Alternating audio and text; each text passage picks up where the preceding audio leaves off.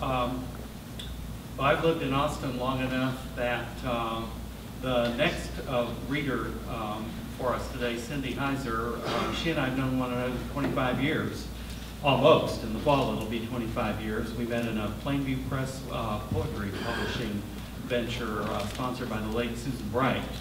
Uh, Cindy's been a great friend of Dos Gatos Press. She and Scott uh, co-edited the Texas Poetry Calendar for a number of years, and volume two in this series, of which we're reading from volume three, uh, Bearing the Mask, Southwestern Persona Poems, she edited with Scott, and we love it. Um, and here is Cindy, uh, published in this one. Welcome.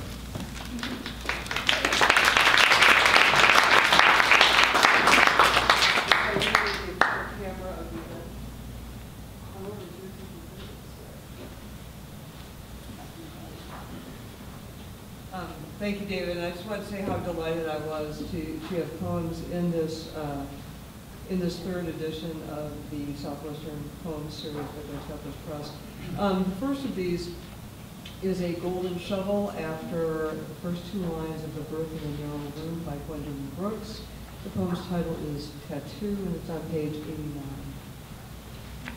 Begin with a sky that deeps, stars numerous, as grit scoured out of crevice and canyon. Begin by thinking of some unraveled dream. Let footsteps beat a western measure, sweet as springs.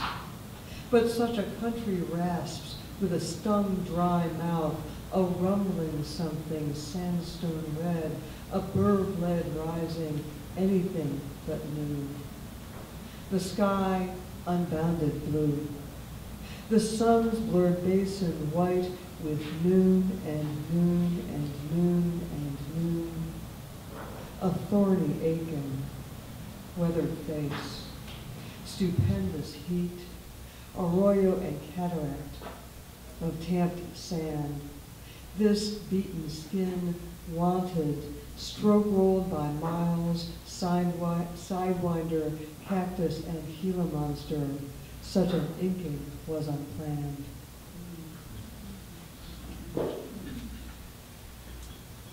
Uh, my second poem is on page 154, and this is in the imagined voice of a young man from Utah. And the poem's title is Cedar City, Utah to Las Vegas, Nevada. Kanarraville, Pintura, Toquerville. When I took this job, I thought it would be a couple months at most. Six hours round trip if I time it right. Most days I feel like I'm driving from one form of emptiness to another. Mistress Elvira shaking her boots. Buffalo stampedes roar, disappearing like smoke.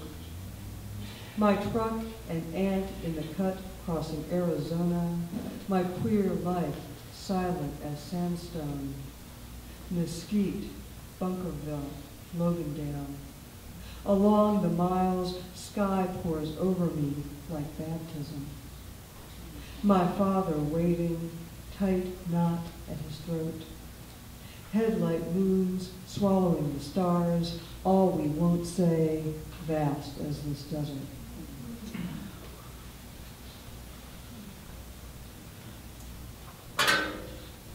And the last poem is, for me is on uh, page 192, and it's called Dreaming Gray Fox. Gray Fox is the oldest of his people. On his neck, a red stole. His den, a hollow high in the ironwood. On the branches of his skeleton tree, vertebrae delicate as ghosts. When Coyote kills my brother, Gray Fox drags up with his left, clack of bone in the dark. Through empty ribs, the wind sings our sorrow.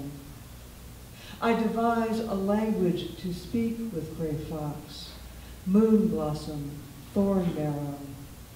In the shadow of the saguaro, I take his counsel. His breath on my cheek is a comfort to me as I yield to the claws of tomorrow.